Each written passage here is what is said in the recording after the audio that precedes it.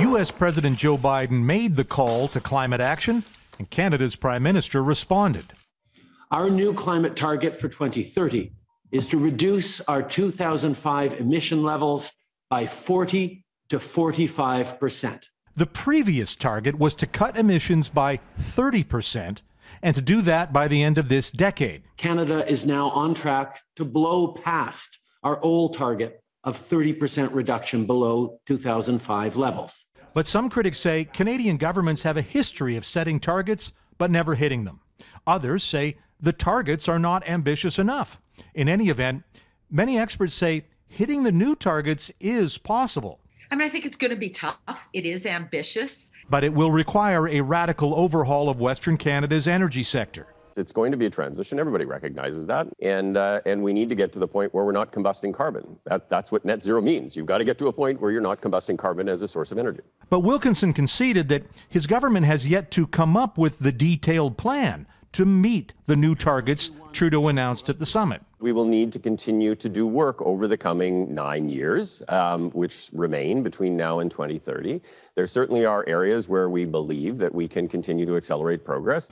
Some potential ideas a massive home retrofit program to plug energy leaks, a complete change to Canada's transportation supply chain, and the creation of new kinds of energy industries. The two natural resource wildcards would be hydrogen and biofuels, second generation biofuels. Um, you know, is there potential for exports from Canada? But all agree whatever plan the government tables to meet its new ambition to quickly cut emissions, it will cost billions.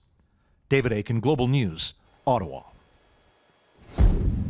Canada's greenhouse gas emissions represent only about 1.6% of the global picture, and President Biden, who said America represents about 15% of the world's emissions, made the case that no nation can solve this crisis on their own.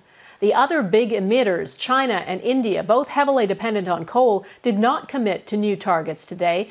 But as Jackson Proskow reports, their hands may be forced by the economic realities of climate change and an emerging demand for green products.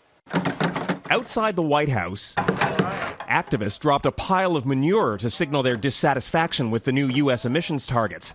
Not ambitious enough, they say. The United States isn't waiting. We are resolving to take action. Inside, President Joe Biden found a virtual audience thrilled by America's return. There can be no doubt about um, the world needing your contribution if we really want to fulfill our ambitious goal.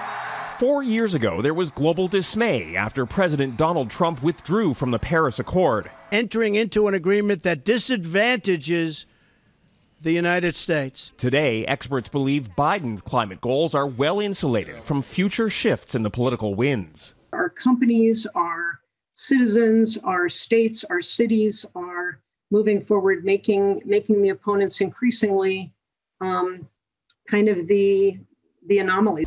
In part because money talks. U.S. climate goals are now wrapped up in the global race to own the green economy. There are opportunities here, economic opportunities here for whoever takes climate change and its solutions the most seriously. That sets up potential cooperation and competition between the U.S. and China, the world's manufacturing powerhouse and largest greenhouse gas emitter. China has so far shied away from near term emissions targets, but says it aims to be carbon neutral by 2060, 10 years after Biden's goal for the U.S. What tethers us together with Chinese energy transition and re- emissions reductions is the fact that they're basically servicing our appetite for emissions. Biden's bet seems to be there will be no alternative but for China and the rest of the world to act far sooner, because the costs of not would simply be too high. Jackson Proskow, Global News, Washington.